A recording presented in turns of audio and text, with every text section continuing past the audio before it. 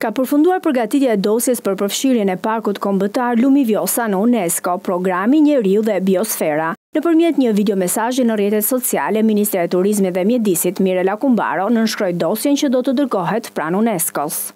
Vjosa do të regjistrohet në kategorinë e re.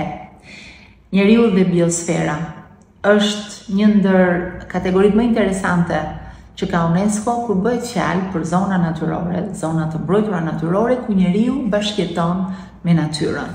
Tani fillon një proces bashkëpunimi me ekspertët e UNESCO-s në Paris dhe me besimin e plotë se në mbledhjen e ardhshme të Komitetit të Trashëgimisë Natyrore, Vjosa do të marrë dhe këtë patentë të re.